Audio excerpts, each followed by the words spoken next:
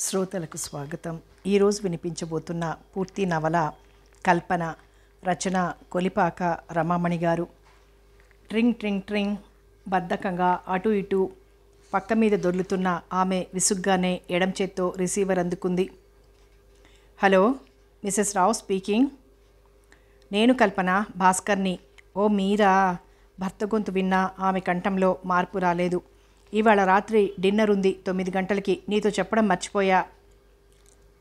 కల్పన మాట్లాడలేదు. ఎక్కడ? ఎవరిస్తున్నారని అడగవరేం మీరు ఎలాగో చెప్తారుగా. ఒంట్లో బాగుండలేదా కల్పన? అతని కంఠంలో ఆతృత. బాగానే ఉంది. తలనొప్పిగా ఉంటే ఆస్ప్రో వేసుకో. నాకేం తలనొప్పి లేదు. అలా అంటే ఒప్పుకోను. డిన్నర్ వేళకి నువ్వు హుషారుగా ఉండాలి. సరే. ఆమెలో నిర్లిప్తత. మంజ్రేకర్ ఇస్తున్నాడు డిన్నర్. కంపెనీ డైరెక్టర్సు ఇద్దరు వస్తారు చాలా ఇంపార్టెంట్ డిన్నర్ మనకి. తొమ్మిదికి కదా? అప్పుడే ఐదయింది. నువ్వు తయారవడం మొదలుపెట్టు. మనం ఇంటి నుంచి ఎనిమిదికి బయలుదేరదాం. నేను ఇంటికి ఏడు గంటలకు వస్తా ఓకే? ఓకే. కల్పన రిసీవర్ పెట్టేసి సీలింగ్ వైపు చూస్తూ ఆలోచిస్తూ పడుకుంది. పావు గంట గడిచాక తప్పదు అన్నట్టు లేచింది. బాత్రూంలోకి వెళ్ళి గీజర్ వేసింది. పడక గదిలోకి వెళ్ళి హౌస్ కోట్ తీసుకుంది. బీరువాలో బట్టలు అడుగున దాచిన విదేశీ సబ్బు తీసుకొని తువ్వాలు భుజం మీద వేసుకుని స్నానాల గదికి దారి తీసింది. కొళాయి తిప్పి వేడి నీళ్ళు బాల్చీలో నింపింది. ఆమె బయటికి వచ్చి తల తుడుచుకుంటూ ఉంటే కాలింగ్ బెల్ మోగింది. నమస్తే నమస్తే రండి రండి అంది కల్పన. తలుపు తీసి వచ్చిన వ్యక్తిని చూడగానే అప్పటిదాకా ఆమెలో ఉన్న బద్ధకం విసుగుపోయి ఉత్సాహం ఆనందం వెల్లివిరిశాయి. ఆమె కళ్ళు మెరిశాయి ముఖం విచ్చుకుంది. చిరునవ్వు పెదవుల మీద నాట్యం చేసింది. భాస్కర్ రాలేదా? అంటూ మోహన్ లోపలికి వచ్చి వీధి తలుపు వేశాడు. ఇంకో గంట దాకా రారు. రండి మనం బెడ్రూమ్లో కూర్చుని మాట్లాడుకుందాం. నాకు కొంచెం పనుంది అంది కల్పన. అతను సంకోచిస్తూ ఆమె వెంట నడిచాడు. పడక గదిలో ఓ పక్కగా డ్రెస్సింగ్ టేబుల్ ఉంది. మీరా పక్క మీద కూర్చుంటారా? కుర్చీ తీసుకురానా? అంది కల్పన సీలింగ్ ఫ్యాన్ వేస్తూ. అతను బెడ్ వైపు చూశాడు. అప్పటిదాకా ఎవరో పడుకున్నట్టు నలిగి ఉంది. కుర్చీ తెచ్చుకుంటా అని మోహన్ వెనక వరండాలో ఉన్న గార్డెన్ చైర్ ఒకటి తెచ్చుకున్నాడు. కల్పన డ్రెస్సింగ్ టేబుల్ ముందు స్టూల్ మీద కూర్చుంది. ఆమె ప్రతిబింబం ముందు ఉన్న మూడు నిలువుటద్దాల్లోంచి మూడు కోణాల్లో కనిపిస్తోంది.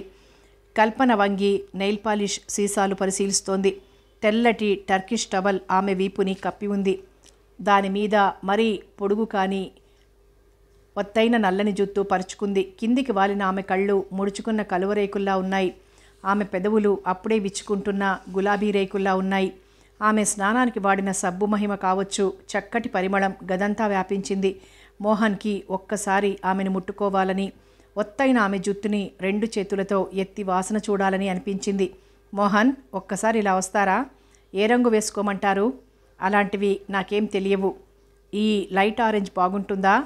ఆమె వేలుకు వేసుకుని చూపించింది. అతను ఒక్కసారిగా పరిశీలనగా ఆమె వేలు చూశాడు. ఈ రెడ్?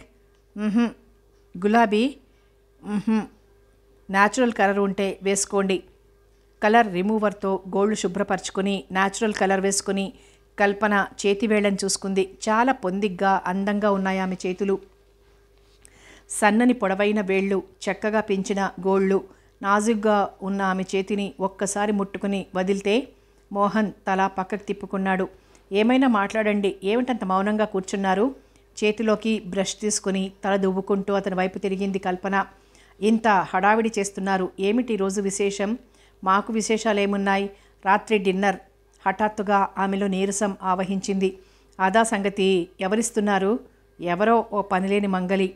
మీరలా కొట్టిపారేయకండి. స్వలాభం లేనిదే కంపెనీ వాళ్ళు పార్టీలు డిన్నర్లు ఇవ్వరు. వాళ్ళ ప్రతి కదలిక వెనక ఏదో స్వార్థం ఉంటుంది. ఆమె కాసేపు మౌనంగా ఎక్కడికో చూస్తూ ఉండిపోయింది. ఉండండి కాఫీ చేసి తీసుకొస్తా అంది చివ్వున లేస్తూ. అతను ఫిలింఫేర్ తిరిగేస్తూ కూర్చున్నాడు. కాఫీ తీసుకోండి అంది కల్పన పది నిమిషాల్లో తిరిగొచ్చి. భర్త భార్యను భార్య భర్తను ప్రేమించి తీరాలంటారా? ఆమె అతని ఎదురుగా స్టూల్ మీద కూర్చొని అతని కళ్ళల్లోకి చూస్తూ ప్రశ్నించింది. మోహన్ తడబడ్డాడు. అదేం లేదు కానీ అనుదినం సాహచర్యం వల్ల భార్యాభర్తల్లో అనుకోకుండానే ఒకరి మీద ఒకరికి అభిమానం ఏర్పడుతుంది అనుకుంటా. అలా ఏర్పడినప్పుడు వాళ్ళిద్దరూ దూరం కావచ్చంటారా? మానసికంగా దూరం కావచ్చును. శారీరకంగా దూరం కాలేరంటారా? మోహన్ నవ్వి ఊరుకున్నాడు. భర్త మీద భార్యకి అయిష్టత ఏర్పడినప్పుడు అతనితో కాపురం చేసే కంటే విడిపోవడం ఉత్తమం కదూ? ప్రసంగం కల్పన ఎటువైపు నడిపిస్తోందో గ్రహించాడు మోహన్. ఏదో ఒకరోజు ఈ ప్రసంగం వస్తుందని అతనికి తెలుసు. మన సంఘంలో అదంత సులభం కాదు తొందరగా సాధ్యం కాదు. ఎందుకు సాధ్యం కాదు మోహన్ గారు? ఈ సంఘం మనం సృష్టించిందే కదా. వ్యక్తి సుఖం కోసం రక్షణ కోసం మనం కొన్ని నీతులు సూత్రాలు ఏర్పరచుకున్నాం. కానీ ఆ కట్టుబాట్లు కావలసినప్పుడు మనం సడలించుకోవాలి. వ్యక్తి స్వాతంత్రం సుఖం సంఘం కట్టుబాట్లకి నలిగిపోకూడదు. మోహన్ మాట్లాడలేదు. ప్రతి క్షణం సంసారంలో నరకం అనుభవించే కంటే ఆ కాపరం విచ్ఛిన్నం చేసుకోవడం తేలివైన పని. తిరిగి కల్పనంది. ఉద్రిక్తత వల్ల ఆమె కంఠం వణికింది. మీరిప్పుడు అలాంటి ఆలోచనలు ఎందుకు పెట్టుకుంటున్నారు? అతని ప్రశ్న విని ఆమె ఆశ్చర్యపోయింది. గబుక్కున లేచి అతని ఎదురుగా వచ్చి నిల్చొని అతని రెండు భుజాల మీద చేతులు వేసి ముఖంలోకి సూటిగా చూస్తూ మోహన్ గారు ఎన్నాళ్ళీ నాటకం? మీరు నన్ను ప్రేమించడం లేదా? నిజం చెప్పండి అంది కల్పన. అతను తడబడ్డాడు. ముఖం ఎర్రబడింది. నిజాన్ని ఒప్పుకోవడానికి ఎందుకు భయపడతారు? మీరు అందరిలాంటి వారు కాదు. అంతా నా శరీరాన్నే ప్రేమిస్తారు. వాళ్ళకి నా అందమే కావాలి. కానీ మీరలా కాదు. మోహన్ నవ్వేశాడు. ఆ గంభీర వాతావరణాన్ని మార్చాలని అతని ప్రయత్నం. నేను మీ శరీరాన్ని ప్రేమించడం లేదని ఎందుకనుకుంటున్నారు? అతని భుజం మీద నుంచి చేతులు తీసేసింది కల్పన. తిరిగి వెళ్ళి డ్రెస్సింగ్ టేబుల్ ముందు కూర్చుంది. మీరు నా శరీరాన్ని మాత్రమే ప్రేమిస్తున్నారంటే నేను నమ్మను. రెండేళ్ళ నుంచి మనకి స్నేహం ఉంది. మీకు నాతో లభించినంత ఏకాంతం అవకాశం ఇంకెవ్వరికీ లభించి ఉండవు. కానీ మీరొక్కసారి కూడా నా దగ్గరికి రావాలని కానీ నన్ను తాకాలని కానీ అతి చనువు తీసుకోవాలని కానీ ప్రయత్నించలేదు. అందుకే మీరంటే నాకు ఇష్టం మోహన్ కుర్చీలో ఇబ్బందిగా కదిలాడు. భాస్కర్ వచ్చే వేళ్ళైనట్టుంది అంటూ కిటికీ దగ్గరికి వెళ్ళి బయటికి చూస్తూ నుంచున్నాడు. అతను ఆమెకి అద్దంలోంచి కనిపిస్తున్నాడు. సిగలో పినులు గుచ్చుకుంటున్న ఆమె ఒక్కసారి ఆగి అతన్ని తదేకంగా చూస్తూ ఎందుకు నిజాం నుంచి తప్పించుకోవాలని చూస్తారు మోహన్ గారు? అంది కల్పన. మోహన్ మాట్లాడలేదు. అతని వెనక భాగం మాత్రం కనిపిస్తోంది ఆమెకి. అతని ముఖంలో భావాలని చూడలేకపోయింది. సిగలో పిన్నులన్నీ గుచ్చుకుని లేచి అతని దగ్గరగా వచ్చి నేను మీతో వచ్చేస్తాను. తీసుకుపోతారా? అంది లాలనగా. లాభం లేదు కల్పన. అలాంటి ఆలోచనలు వ్యక్తం అంటూ అతను నిట్టూర్చాడు. ఆమె నిరాశగా ప్రశ్నార్థకంగా చూసింది. నేను ఏడాది నుంచి ఆలోచిస్తున్నా కల్పన. మీరు సామాన్యంగా ఉంటే ఇంత అందంగా ఉండి ఉండకపోతే ఏనాడో మిమ్మల్ని ఎక్కడికో తీసుకుపోయి ఉండేవాడిని. లోకమంతా వాంఛించే నా అందం మీకు చేదైందా? కిలకిలా నవ్వింది కల్పన. అతను నవ్వలేదు. నీ అందం నాకు చేదు కాదు కల్పన. అందరికంటే దాన్ని నేనే ఎక్కువగా వాంఛిస్తున్నాను. ఈ నీ అందం అందరి కళ్ళల్లో పడి మాసిపోకుండా నా దగ్గర భద్రంగా దాచేసుకోవాలనుకుంటున్నాను అనుకున్నాడు మనసులో. మాట్లాడరేం మోహన్? ఏం మాట్లాడను? మీ అందచందాలు ఎంతో ప్రసిద్ధికెక్కినవి. మీ ఆయనకి హోదా ధనవంతులలో పలుకుబడి ఉంది. మీ పరిచయస్తులు దేశమంతా ఉన్నారు. మిమ్మల్ని నేను ఎక్కడికి తీసుకుపోను? నన్ను తీసుకువెళ్ళడానికి మీకు అనువైన స్థలమే లేదా? ఈ విశాల దేశంలో ఏ మారుమూల పల్లెకి వెళ్ళినా మనం హాయిగా ఉండగలం మోహన్? ఏం పెట్టుకొని హాయిగా ఉండలం ఉండగలం? మారుమూల పల్లెలో నాకేం ఉద్యోగం వస్తుంది? మనిద్దరం హాయిగా గుడిసె వేసుకొని ఎంకీ నాయుడు బావలలా ఉందామనుకుంటున్నారేమో. అవన్నీ పిచ్చి ఊహలు. పేదరికాన్ని శరీర శ్రమని భరించడం కష్టం. మనం హాయిగా ఉండలేం. కల్పన నిరాశగా వెళ్ళి పక్క మీద కూర్చుంది. నిరాశ స్థానే ఆమె కళ్ళల్లో క్రమంగా ఏదో కసి చోటు చేసుకుంది. అయితే ఇన్నాళ్ళ నుంచి ఇక్కడికి ఎందుకు వస్తున్నట్టు మోహన్? నాలో లేనిపోని ఆశలు ఎందుకు సృష్టించాలి? తక్షణం ఇక్కడి నుంచి వెళ్ళిపోండి. ఇంకా మీ ముఖం నాకు చూపవద్దు. ఆమె గుమ్మం వైపు వేలు చూపుతూ గట్టిగా మాట్లాడింది. మోహన్ బాధగా చూశాడు. మెల్లగా నడిచి వచ్చి కల్పన ముందు ఒక్క క్షణం ఆగాడు. క్షమించండి నేను పిరికివాడిని అన్నాడు. కల్పన ముఖం పక్కకు తిప్పుకుంది. అతని పాలిపోయిన ముఖం చూసి ఉంటే అతని కళ్ళల్లోని అంతులేని వెదను చదివి ఉండగలిగేదామే. మోహన్ తలుపు తీసుకుని బయటికి వెళ్ళిపోయాడు. ఆమెలోని దుఃఖం కన్నీటి ప్రవాహంగా ముందుకు దూకింది. భాస్కర్ వచ్చే వరకు ఆమె ఏడుస్తూనే ఉంది. భాస్కర్ భార్యను చూసి తెల్లబోయాడు. ఎందుకు ఏడుస్తున్నావు? అన్నాడు. అది గద్దింపులాగే వినబడింది కల్పనకు. ఆమె ముఖమెత్తలేదు ఏడుపు మానలేదు. అతను నిరాశపడ్డాడు చిరాకు పడ్డాడు టైం చూసుకున్నాడు. ఏడున్నర ఇంకో అరగంటలో బయలుదేరకపోతే తాము బొంబాయి లాంటి ఊళ్ళో ట్రాఫిక్ సిగ్నల్స్ నుంచి తప్పించుకుని హోటల్ తాజ్ చేరలేరు. ఈరోజు డిన్నర్కి వెళ్ళకపోతే ఇంత మంచి ఛాన్సు మళ్ళీ ఇప్పట్లో రాదు.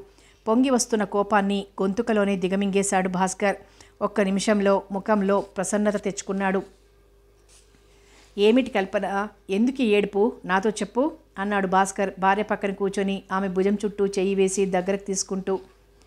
అతని చెయ్యి ఆమెకు పాములా తోచింది తీసి పారేసింది. ఇంకా అలకకూడదు డార్లింగ్ నా చిట్టివి కదూ ఎందుకు ఏడుస్తున్నావో చెప్పవు. నీ మాట ఎప్పుడన్నా నేను కాదన్నానా? నీకేం తక్కువ? నీకేం కావాలో చెప్పు ఇప్పుడే తెస్తా. అసలు ఒంటరిగా కూర్చుని పిచ్చి పిచ్చి ఆలోచనలు పెట్టుకుంటావు. అలా మధ్యాహ్నం సినిమాకో షాపింగ్కో వెళ్ళి రాకూడదు. అంటూ బుజ్జగించాడు. ఆమెకు తెలుసు. అతను తను లేచేదాకా అలా ప్రేమ నటిస్తూనే ఉంటాడు. అతనికి కావలసిందేమిటో చివరికి సాధించగలడు. అలా మంచి పిల్లల ఏడుపు మానేయాలి అన్నాడు భాస్కర్ మెచ్చుకుంటూ. కల్పన కళ్ళు తుడుచుకొని లేచింది. అతని వైపు ఒక మారు అసహ్యంగా చూసి బాత్రూంలోకి వెళ్ళింది. మొహం కడుక్కొని వచ్చి స్నో పౌడర్ దిట్టంగా పట్టించి మేకప్ అయింది.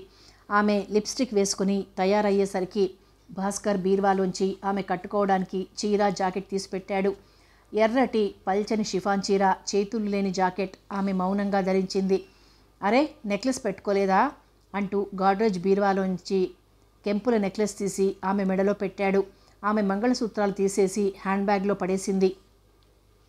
నెక్లెస్తో మంగళసూత్రాలు వేసుకుంటే మోటుగా ఉంటాయంటాయు? మోటుగా ఉంటాయి అంటాడతను మంగళసూత్రాలు తీయడానికి ఆమె ప్రతిసారి ప్రతిఘటించేది.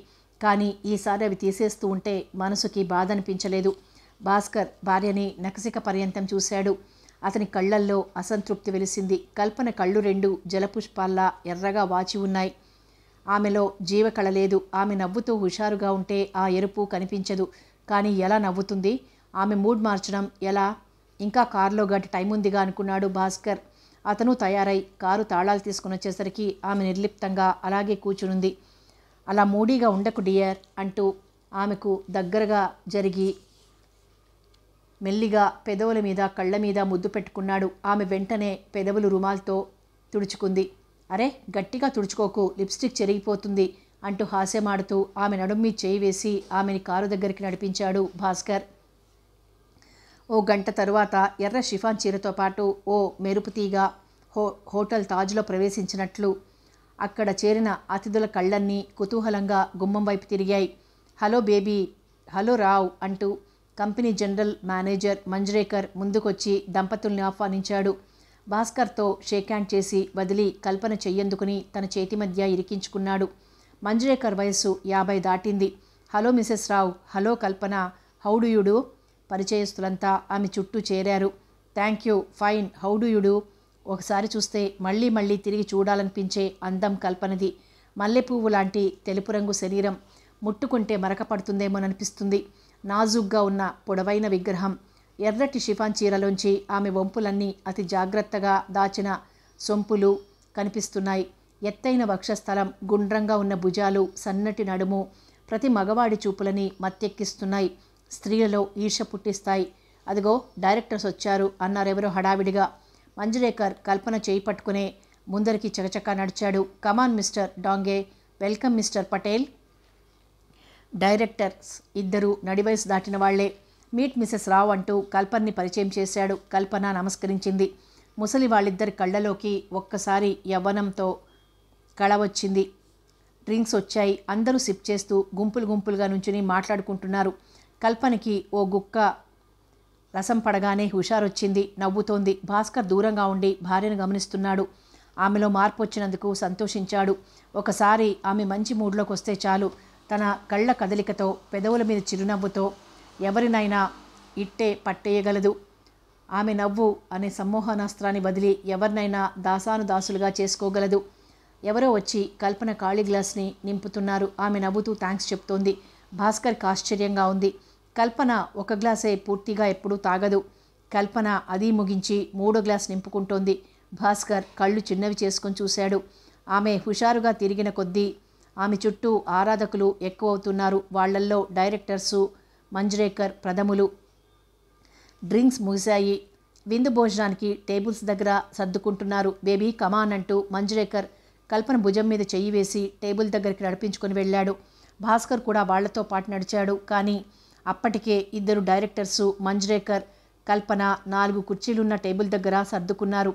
కల్పన ఒకసారి తలెత్తి భర్త ముఖం వైపు చూసి నవ్వింది. ఆ నవ్వు చూసి అతడు ఆనందించలేదు. చేసేది లేక పక్క టేబుల్ దగ్గర కూర్చున్నాడు. సన్నగా సంగీతం వినిపిస్తోంది. డ్రింక్స్ సేవించినప్పుడు అందరూ గట్టిగా మాట్లాడుకోవటం లేదు. భోజనం బల్లల దగ్గర చాలా మెల్లిగా సంభాషణ జరుగుతోంది. కల్పన వాళ్ళ మాటలు కూడా వినిపించటం లేదు. మధ్య మధ్యలో వాళ్ళ నవ్వులు వినిపిస్తున్నాయి. కల్పన ఈరోజు కొంచెం శృతిమించి నవ్వుతోంది. ఆమె నవ్వు చుట్టుపక్కల వారిని మాటిమాటికి ఆకర్షిస్తోంది. ఆమె అలా ఓసారి నవ్వుతున్నప్పుడే ఒళ్ళో వేసుకున్న తెల్ల నాప్కిన్ కింద జారిపోయింది. అది తీసుకుందామని ఆమె వంగింది. ఆమెతో పాటు సన్ని పైట కూడా కిందికి జారింది. ఎర్రటి జాకెట్ లోనెక్ జాకెట్లోంచి తెల్లటి ఆమె గుండెలు తొంగి చూశాయి. శిల్పన కల్పన మెల్లిగా లేచి నిర్లక్ష్యంగా పైట వేసుకుంది. అంతవరకు తక్కిన ముగ్గురు పురుషులు చూపులు ఆమె గుండెల మీదే నిలిచాయి. భాస్కర్రావుకి భార్య ప్రవర్తన చాలా వింతగా కనిపించింది. కోపంగా స్టూపిడ్ అనుకున్నాడు లోపల తన ప్రమోషన్స్కి ఆమె అందాన్ని ఓ మెట్టుగా పెట్టుకోవాలనుకున్నాడు కానీ భార్యని వేసేగా మార్చాలని ఎప్పుడూ అనుకోలేదు. అతనికి విందు భోజనం చేదుగా మారింది. ఇంటికొస్తూ కారులో కూడా అతను పళ్ళు పటపట్లాడించాడు. కానీ కల్పన మాత్రం చాలా హుషారుగా ఉంది. కిటికీ మీద తల వంచి సన్నగా ఇంగ్లీష్ పాట కూనిరాగం తీస్తోంది. ఆ పాట వింటూ ఉంటే అతనికి భార్యని హత్య చెయ్యాలన్నంత కోపం వస్తుంది. ఇల్లు చేరగానే అతను విజృంభించాడు. ఎందుకు ఆ కక్కుర్తి? రోజు డ్రింక్స్ అలవాటైనట్లు ఆ తాగడం మూడు గ్లాసులు తాగావు. ఆమె బట్టల స్టాండ్ మీద నుంచి నైట్ గౌన్ తెచ్చుకుంటూ అయితే నేను ఎన్ని గ్లాసులు తాగానో చూశారన్నమాట అంది నిర్లక్ష్యంగా. ఆ అలా తప్ప తాగుతూ ఉంటే చూసిన వాళ్ళు ఏమనుకుంటారు ఆడది ఇలా తాగితే ఎంత అసహ్యంగా ఉంటుంది? ఆమె మాట్లాడలేదు. మౌనంగా చీర జాకెట్ ఒకటొకటే విప్పి పడేసింది. అతనికి తల తిరిగినట్లయింది. ఆమె అలా నగ్నంగా తయారవుతూ ఉంటే పెళ్ళైన ఈ ఐదేళ్ళలో కల్పన ఎప్పుడూ అలా చేయలేదు ఆమెకి చాలా సిగ్గు. ఇవాళ ఈ ట్యూబ్లైట్ కాంతిలో ఛీ సిగ్గు వేయటం లేదు. ఎందుకు సిగ్గు? పెళ్ళై ఐదేళ్ళై కాపురం చేస్తున్న నా భర్త దగ్గర నాకెందుకు సిగ్గు? ఆమె నైట్ గౌన్ వేసుకుంటూ అతని వైపు తిరిగింది. నల్లటి పల్చటి నైట్ గౌన్లోంచి పాలరాతి విగ్రహం లాంటి ఆమె శరీరం గౌను ముందు భాగంలో బొత్తాలు ఇంకా పెట్టుకోకపోవడం వల్ల మధ్య ఖాళీ ఏర్పడి ఎత్తుపల్లాలు తొంగి చూస్తున్నాయి. ఆమెను అలా చూస్తుంటే భాస్కర్కి మతిపోయినట్టయింది. మాట్లాడుతున్న విషయం కోపం కాసేపు మర్చిపోయాడు. పడుకుందామా? అంది కల్పన. ఆమె పెదవుల మీద కొంటె నవ్వు. అతనిలో మళ్ళీ కోపం తలెత్తింది. ఏమిటి భోగం వేషాలు? నేనేం భోగం వేషాలు వేశాను? ఆమె దెబ్బతిన్నట్టు చూసింది. పైట ఒంటి మీద ఉన్నది లేనిది తెలియటం లేదా? ఓ అలా చేస్తే మీకింకా ఇష్టమవుతుందని అనుకున్నాను. ఛీ ఏం మాట్లాడుతున్నావు? నాకు ఇష్టమవుతుందా ఏమో నా అందం ఎరగా చూపే కదా మీరు ప్రమోషన్స్ తెచ్చుకుంటున్నారు. నా అందాలు ఇంకా బాగా చూపి ఆ ముసలి వాళ్ళని ప్లీజ్ చేస్తే మీకింకా చాలా పెద్ద పదవి వస్తుందేమో అనుకున్నాను. భాస్కర్ కళ్ళు చిన్నవి చేసుకుని ఆమె వైపు ఉక్రోషంగా చూశాడు. నేను భార్యని వేసేగా మార్చాలని ఎప్పుడూ అనుకోలేదు. మరి మీరు చేస్తున్నదేమిటి? నిన్నెప్పుడు ఒక లిమిట్లోనే ఉంచాను. నువ్వు అందంగా ఉంటావని సరదాగా మాట్లాడతావని వాటి ద్వారా సంఘంలో పేరు నాకు పలుకుబడి హెచ్చాలని అనుకున్నాను. మీరు ఏ లిమిట్లో ఉంచారు? మంజురేకర్ లాంటి వాళ్ళకు ఎక్కడి నుంచి వచ్చిందని ధైర్యం. నా భుజం మీద చేయి వేయడానికి నా భర్త ఎదురుగా ఉండగానే అడ్డమైన వాడు నా చేయి పట్టుకుంటాడు. కారణమేమిటి? మీరిచ్చిన అలుసేగా? ఆమె కళ్ళల్లో ఎర్రజీరలు వ్యాపించాయి. కల్పన మాటలు ప్రవాహంలా ముందు కురుకుతున్నాయి. నన్ను వేశ్యగా మార్చలేదన్నారు. నాకు వేశ్యకి తేడా ఏమిటి? వేశ్యలాగే నేను నా అందం నా వయ్యారం చూపి అందరినీ ఆకర్షించాలి. వేశ్యతో శారీరక సంబంధం ఉంటే నాతో ఈ పురుష పుంగవులంతా మానసికంగా వ్యవచరిస్తారు కాదంటారా? వేశ్యకి డబ్బు ముడితే నా భర్త ప్రమోషన్ రూపంలో నాకు బహుమతులు అందుతాయి ఇంకా మా ఇద్దరికీ భేదం ఎక్కడా భాస్కర్ పరాభవం పొందనివాడిలా కోపంగా చూస్తూ నించున్నాడు. ఇన్నాళ్ళుగా మీరు మీ ఇష్టం వచ్చినట్లు మీ స్వలాభం కోసం నన్ను వాడుకున్నారు. మానసికంగా శారీరకంగా నాకు నరకం చూపారు. ఇక మీ ఆటలు సాగవు. నా ఇష్టం వచ్చినట్లు నేను ప్రవర్తిస్తా. కల్పన కింద పడేసిన చీర తక్కిన బట్టలు ఉండ చుట్టి కోపంగా మూలకు విసిరేసి పక్క మీదికెళ్ళి పడుకుంది. ముఖం తలగడలో దాచుకోవడం వల్ల ఆమె ఏడుస్తోందో ఊరికినే పడుకుందో తెలుసుకోలేకపోయాడు భాస్కర్. అతనికంతా అయోమయంగా ఉంది. ఇన్నాళ్ళుగా సాగిన తన పథకాలు ఈరోజు ఇలా ఎదురు తిరగడం భార్య తన మీద యుద్ధం ప్రకటించడం కోపాన్ని తెప్పించాయి. హఠాత్తుగా అతనికి భార్య అంటే ఎందుకో భయం కలిగింది. మధ్యాహ్నం రెండు గంటలై ఉంటుంది. కల్పన పడుకొని పుస్తకం తిరిగేస్తోంది. కాలింగ్ బెల్ మోగింది. వంటింట్లో గిన్నెలు కడుగుతున్న సక్కుబాయి వెళ్ళి తలుపు తీసింది. భాయ్జీ సాబాయా అంది కల్పన గదిలోకి వచ్చి కౌన్ సాబ్ మోహన్ సాబ్ డ్రాయింగ్ రూమ్ మే బయటా హే. కల్పన ముఖం చిట్లించుకొని ఠీక్ హే అంది. సక్కుబాయి వంటింట్లోకి వెళ్ళిపోయింది. మోహన్ మళ్ళీ ఎందుకు వచ్చినట్లు అయిష్టంగానే లేచింది కల్పన. నమస్తే మోహన్ మామూలుగానే ఉన్నాడు. ఆమె రాగానే లేచి నిల్చున్నాడు. కల్పన మౌనంగా వెళ్ళి సోఫాలో కూర్చుంది. అతను ఆమెకు ఎదురుగా కూర్చున్నాడు. ఆమె మాట్లాడలేదు. మళ్ళీ ఎందుకు వచ్చారు సూటిగా చూస్తూ ప్రశ్నించింది. నిన్న రాత్రంతా ఆలోచించాను అని ఆగాడు మోహన్. మీరు నాతో వచ్చేస్తానన్నారుగా? కల్పన ముఖం కందగడ్డలా తయారైంది. ఏం? తీసుకువెళ్దామని వచ్చారా ఇక్కడెవరూ మీతో రావడానికి తయారుగా లేరు. మీరలా అంటారని నాకు తెలుసు. ఆ మాటే చెప్పాలని వచ్చాను మీరు ఈ ఇల్లు వదిలి ఎక్కడికి ఎవరితోనూ వెళ్ళిపోలేరు. ఏమిటి మీ ఉద్దేశం? నిజం కల్పన. మీకు భాస్కర్ అంటే మనసులో ఇష్టమే. అతని అభిప్రాయాలు మీకు ఇష్టం లేదు. తనకి ఇష్టం లేని ప్రసంగం జరుగుతున్నట్లు కల్పన ముఖం పక్కకు తిప్పుకుంది. మీకు భాస్కర్ అంటే ఇష్టం లేకపోతే సంసారమే నరకమైతే ఇన్నాళ్ళుగా ఇక్కడి నుంచి పారిపోవటానికి ప్రయత్నించలేదేం? అతనిని ప్రతి ప్రతిఘటించలేదేం? అతను చెప్పినట్లల్లా ఎందుకు నడుచుకుంటున్నారు? ప్రతిఘటించే శక్తి లేక కాదు సంసారాన్ని రచ్చకీడ్చుకోలేక గొడవలు గోల సృష్టించుకోలేక నాతో లేచిపోదామనుకున్నారు. అంతకంటే సంసారాన్ని రచ్చకీడ్చుకోవడం పరువు నష్టం ఇంకేదైనా ఉందా? భాస్కర్ని ప్రతిఘటిస్తే ఏమవుతుంది? ఎప్పుడైనా ప్రయత్నించారా? ఆలోచించారా? లేదు మోహన్ నేనెప్పుడూ ప్రయత్నించలేదు. అదే ఎందుకని? నేను చెప్పనా? మీకు భాస్కర్ అంటే అంతరాంతరాలలో ఎక్కడో ఇష్టం ఉంది. లేకపోతే మీకు ఇష్టం లేని పనులు మీ మనస్సుకు నచ్చనివి నోరు మూసుకుని అతని కోసం ఎందుకు చేస్తారు? భాస్కర్కి అస అసంతృప్తిని కలిగించలేరు. ఎక్కడో హృదయంలో దాగిన మమకారం అడ్డొస్తోంది. కాదు కాదు మీకు అర్థం కాదు నా బాధ. నాకు ఇంకా వేరే మార్గం లేక ఆయన ఆడించినట్లల్లా ఆడుతున్నాను. లేదు మీరు అతన్ని ఎదిరించి చూడండి. అతను ఏం చేస్తాడు? దెబ్బలాడతాడా? అరుస్తాడా? ఇంకా కోపం వస్తే కొడతాడా? ఇల్లు వదిలి పొమ్మంటాడా ఇవేవీ జరగవు. మీలాంటి అందమైన మంచి భార్యను వదులుకోవడానికి ఏ మగవాడు ఇష్టపడడు. మీరు బాగా ఆలోచించుకోండి. ప్రయత్నం చేసి మీ సంసారాన్ని బాగుపరచుకోండి. అది మీ చేతుల్లోనే ఉంది. కల్పన మాట్లాడలేదు. ఎక్కడో ఆలోచిస్తూ కూర్చుంది. మోహన్ లేచాడు. క్షమించండి ఈ మాటలే చెప్పిపోదామని వచ్చాను. అన్నట్టు మీరింక ఎవరితోనూ నాతో అన్నట్టు అనవద్దు. మీతో వస్తాను తీసుకుపోండి అని. భాస్కర్ మాటలకి బెదిరింపులకి లొంగిపోకండి. వివేకవంతులై మీ కాపురాన్ని చక్కబరుచుకోండి వస్తా. అతను కల్పన జవాబు కోసం ఎదురు చూడలేదు వెళ్ళిపోయాడు. మోహన్ మీదెంతో కోపం వచ్చింది కల్పనకి. అతను మంచివాడు తనని పువ్వుల్లో పెట్టి చూసుకోగల అభిమానం ఉన్నవాడు స్నేహశీలి.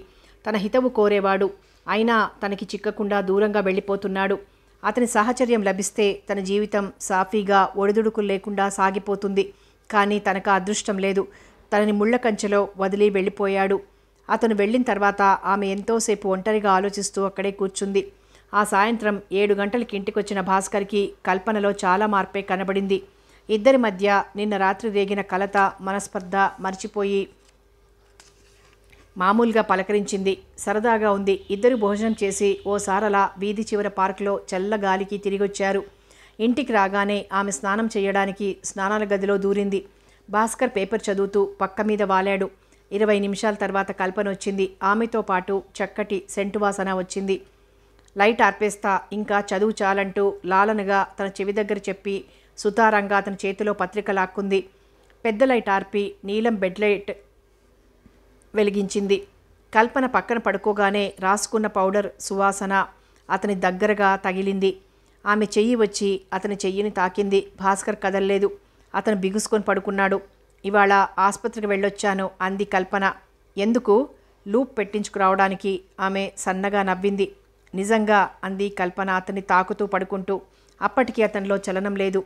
అరే మీరిప్పుడు ముట్టుకున్నంతలో ఏమైపోదు అంటున్నానుగా. పిల్లలు పుట్టేయర్లేండి భయపడొద్దు కిలకిలా నవ్వింది. అతను మెల్లిగా ఆసుపత్రి వివరాలన్నీ అడిగి తెలుసుకున్నాడు. ఎన్ని గంటలకు వెళ్ళింది ఎప్పుడొచ్చింది అన్నీ. తర్వాత భార్య మీద చేయి వేశాడు. ఇప్పటికీ నమ్మకం కలిగిందన్నమాట అంటూ అతన్ని పెనవేసుకుంది కల్పన. గంట తర్వాత భార్య ముఖంలోకి అనుమానంగా చూస్తూ నీ మాటల్లో నాకు నమ్మకం కుదరటం లేదన్నాడు భాస్కర్. పోండి మీకన్నీ అనుమానాలే అంటూ నవ్వుతూ భర్త జుత్తుని ముద్దు పెట్టుకుంది కల్పన. రెండు నెలల తర్వాత ఓ సాయంత్రం కల్పన ముఖంలో ఉన్న అంతులేని సంతోషాన్ని చూసి ఆశ్చర్యపోయాడు భాస్కర్. ఏమిటి సంగతి? అంతలా సంబరపడిపోతున్నావు? అన్నాడు బూట్లు విప్పుకుంటూ. పొద్దున్నే ఆసుపత్రికి వెళ్ళొచ్చాను. నవ్వును దాచుకుంది కల్పన. ఎందుకు? ఇంకా మీరు నన్ను ఎక్కడికి పడితే అక్కడికి ఇష్టం వచ్చినట్లు తీసుకువెళ్ళలేరు. అంటే మనకో బంధం ఏర్పడుతోంది. అతను అర్థం కానట్లు చూశాడు. ఇంత మట్టిబుర్ర ఏమిటి? మన ఇంట్లోకి పాపో రాబోతోంది. గట్టిగా నవ్వింది. అతని ముఖం ఎర్రబడింది. ఇదెలా సాధ్యం?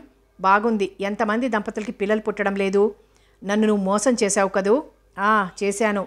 కానీ ఆ ముందు రోజే ఇక నుంచి నా ఇష్ట ప్రకారం నాకు నచ్చిన విధంగా నేను నడుచుకుంటానని చెప్పానుగా. లోపు గురించి అబద్ధం చెప్పా. పెళ్ళై ఇన్నాళ్ళైనా మీకు పిల్లల మీద ఉండకపోవచ్చు. నా అందం ఎక్కడ చెడిపోతుందో అని భయం ఉండొచ్చు. అలా చెడిపోతే మీ ప్రమోషన్లు తొందరగా రావేమోనని భయం ఉండొచ్చు. కానీ నాకు అవేం లేవు. మీ డబ్బు ఉన్నత పదవులు నా అందం నాకొద్దు. మన ఇంట్లో ఓ పాప కావాలి. నా ఒంటరితనం పోవాలి. బ్రతకడానికి నాకు ఆశ కావాలి. నాలుగేళ్ళు గడిచిపోయాయి. ఓ రోజు ఢిల్లీ వెళ్తున్న భాస్కర్ గ్వాలియర్ స్టేషన్లో దిగి టీ తాగుతూ ఉంటే మోహన్ కనిపించాడు. అతన్ని తీసుకొని తన కంపార్ట్మెంట్లోకి తీసుకువెళ్ళి కల్పన ఎవరొచ్చారో చూడు అంటూ భార్యను పిలిచాడు భాస్కర్. చంటిపిల్లవాడిని ఒళ్ళో జోకడుతున్న కల్పన మోహన్ని చూసి గతుక్కుమంది. కానీ ఆ కలవరపాటొక్క నిమిషమే ఓ మోహన్ రండి బాగున్నారా ఢిల్లీలోనే ఉంటున్నారా? అంది. మోహన్ ఆమెకి నమస్కారం చేసి ఎదురుగా కూర్చున్నాడు. కల్పన అందం ద్విగుణీకృతమైంది. కొద్దిగా ఒళ్ళు చేసింది కానీ ఆమె అందం ఇప్పుడు మత్తుగొలపటం లేదు. ఓ గౌరవ భావాన్ని కలగజేస్తోంది. పాప పేరేమిటి? అన్నాడు కిటికీ దగ్గర కూర్చుని తననే కొత్తగా చూస్తున్న పాపం చూస్తూ.